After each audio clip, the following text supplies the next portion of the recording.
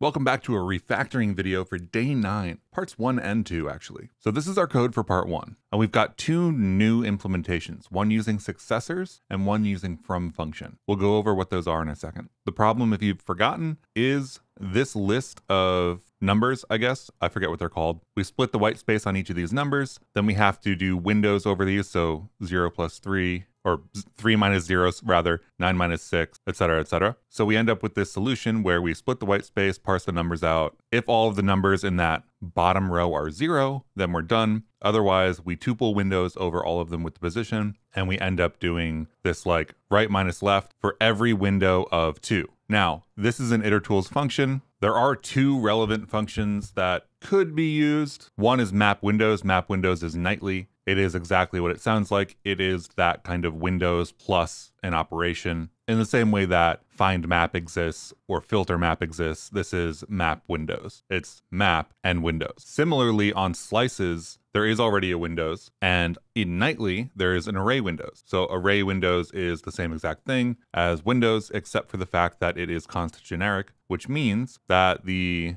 values that you get are definitely going to be an array of two elements here whereas the regular Windows is just a slice. So those are all very interesting, but the biggest change for us is going to be using successors. And successors is a standard library function in standard iter successors that allows us to create a new iterator using the last item to produce the next item. So in this case, they have a one that gets passed in as the first item, and then a function that takes that value, does some multiplication on it, and that's the next value. So you can see how one becomes 10, a 10 would become 100, 100 would become 1,000, and so on and so forth. So this is just an iterator now that runs this function every time it tries to produce its next value, passing in the old value. How is this useful for us though? We can take all of our inner logic and you can see how much smaller that file gets actually. So we did a bunch of stuff with a manual loop and our manual tuple positions and windows and whatever, as long as I don't move that code to mess it up. And our part one for successors here does all the same stuff, except we use successors to pass in that first numbers array or that numbers vec. That numbers vec is then used to produce the next one. So every row we have is used to produce the next row. And we do this by first checking to see if all of them are zero. And if they're not, this is interesting right here because this is the same as putting parens around it and using the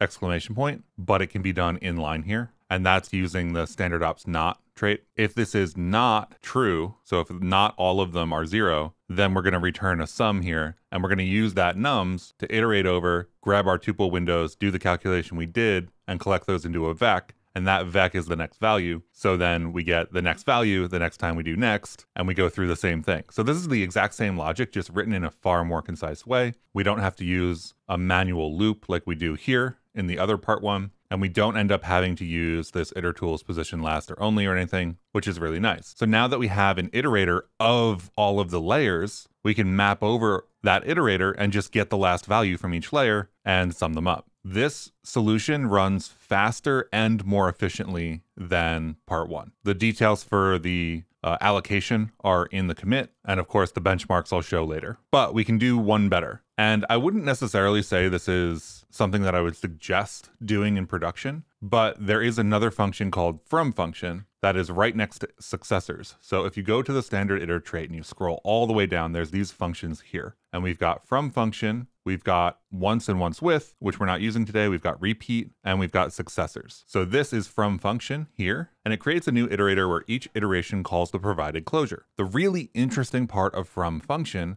is that it allows us to mutate captured values. So in this solution, we only use a single vec for the entire line. So if we have this line here, we use a single vec to do all of the calculations for going all the way down to zeros. And we do that by first collecting all of our values as we expect, the same way we did it before, but this vec is now mutable. This gets moved into the closure, so we do our normal check to see if nums.iter is zero, and then we're doing something a little bit tricky here we're using this thing called Windows Mute, and Windows Mute is not available in the standard Rust library. So we had to go pull in the lending iterator crate. And now I want to be clear about one thing. I've only used the lending iterator crate in Advent of Code. I've never found a use for it outside of Advent of Code. I would probably, instead of using this in regular code, I would probably find a way to do it with the standard library, but I do think it's significantly interesting. And going through this crate and how it's implemented is a little bit outside of the scope of this video. You'll see some mention of things like higher kinded types and GATs and things that we haven't covered in this series. But the big thing that it allows us to do is run Windows mute, which allows us to take sliding windows like we were doing before of mutable references or exclusive references. So this is a thing that the regular iterator trait in Rust can't express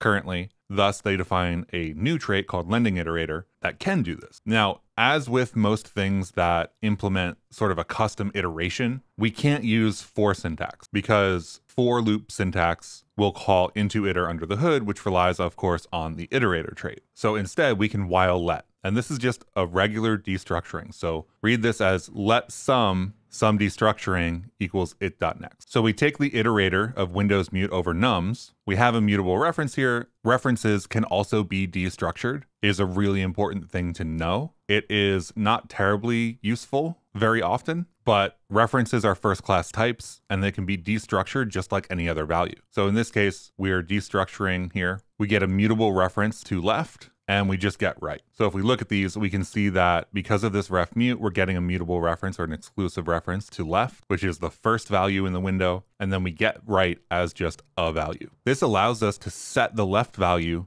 equal to our calculation, which is right minus left. What this does is keeps this nums vec around forever. And as we iterate over all of the values in nums, what we're doing is updating the leftmost value to be the next rank's value. So if we look at this, right, if we look at the visualization of what should be happening here, we've got this row at the top here. We iterate over zero and three. This is left, zero is left, and three is right. So we do our calculation and we get three. We store three here in the original vec, and we keep doing that over and over. So we end up with, in this original vec, threes, that second row, as all of these numbers. And then we've got 15 at the end, just sitting there because we don't have enough values to actually reach that one in this case. Because of that, we can just pop that off the end of our vec our vec gets one smaller, which is what it does anyway, and we get that value out of this iterator. So from function has now used nums and the same vec over and over to create an iterator that pops off that last value to us, and we then get an iterator of all of the rightmost values. Of course, for part one, we just get to sum those up and then we're done. But from function, successors, very interesting. The same logic works for part two.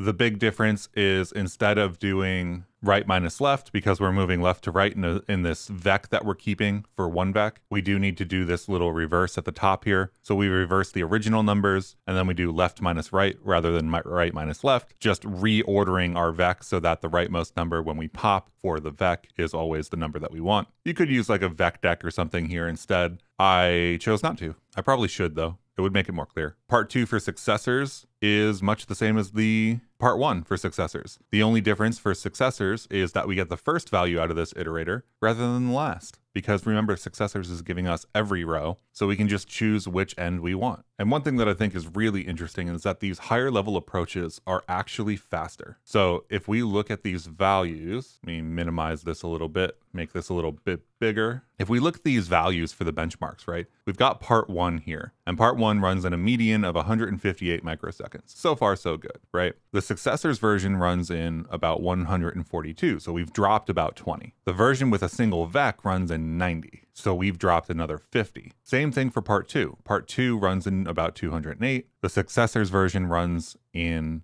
154, which is about 50 less than that. And then the one vec version runs in 106, which is another about 50 less than that. So we're not just building up sort of higher level constructs and easier to read code, but this code is also getting faster. If we look at the DHAT profile, we get 358 kilobytes for part one, 336, which is a drop of about 20 for the part one successors. And then the one that really has an impact on memory is the part one with the one vec. So we're not allocating multiple vecs. Now we're just using one per row or one per line of input. So we get 97 kilobytes instead of 333. So you can see that these higher level constructs are actually giving us faster runtimes and less heap usage. Now, of course, this isn't always true. This is true in this case, but always, always, always, if you are needing performance in some way, benchmark, make your changes, and then benchmark again to see what works for you. I hope this was an interesting introduction to the idea of both successors and from function. These are in the standard library. You just get to use them. They've been around since version 1.34,